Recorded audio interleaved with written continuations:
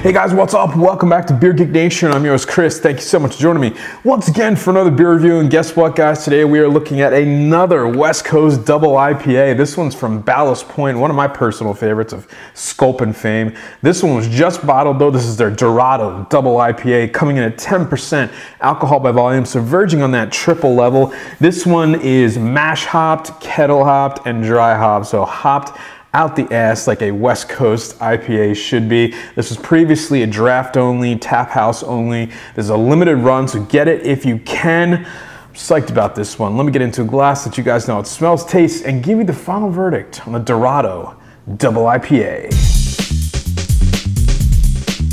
All right, guys, so the appearance on the Double Dorado, it's that classic, classic West Coast Double IPA, golden orange with yellow kind of golden hues in the curves of the glass, nice carbonation. Coming off the bottom there, a slight haziness to it. There's some particulate floating around in there. I don't know if that's hop leftovers or bottle condition. Um, there was about a finger to two fingers of a bright white, kind of fluffy, foamy head on there. Dissipating pretty quickly at 10%. I would expect that though. Nice lacing, definitely some alcohol legs on this one. Again, just a classic looking double IPA. All right, the aroma, double Dorado. Wow, big kind of dank sweet fruits. There's pineapple, papaya, mango, a little bit of lemongrass, a little bit of an astringency, you know, that I know you guys hate to hear it, but like a cat pee kind of smell to it. There's a slight kind of peppery spiciness in there, a slight kind of bready sweetness, but just a big, dank, kind of tropical smelling beer. Really, really nice stuff. All right, guys, so the taste on the Double Dorado. Cheers. Yeah, I mean, it lives up to what I would expect. Right at the front of the tongue, a massive, just assault of bitterness. Getting a little bit of that tropical kind of uh, papaya and mango juice in there. Middle of the mouth, nice bready, nice, nice kind of sweet, sugary, syrupy sweetness in there to play off that bitterness in the front of the tongue. Also getting more of that mango and tropical fruit, a little bit of peach, a little bit of like an orange peel in there as well.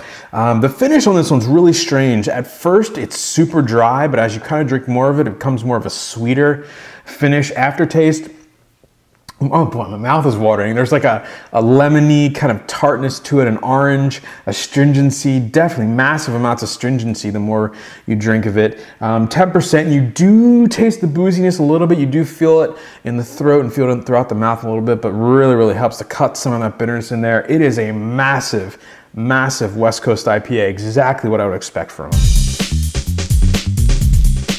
All right, guys, so the final verdict on the Double Dorado from Ballast Point, limited edition, 10% alcohol by volume.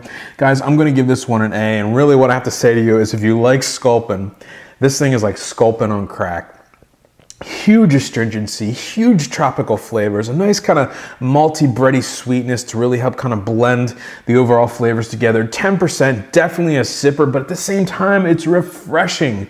Well, I guess if you're a hophead at least. So just really, really great stuff. Exactly what I would expect from a San Diego-based brewery doing a massive double IPA, and it lives up to exactly your expectations. Just really, really great stuff, and I definitely recommend you guys try it. Get it now, get it while it's fresh. It's not gonna last long. So with that said, folks, remember, life is too short.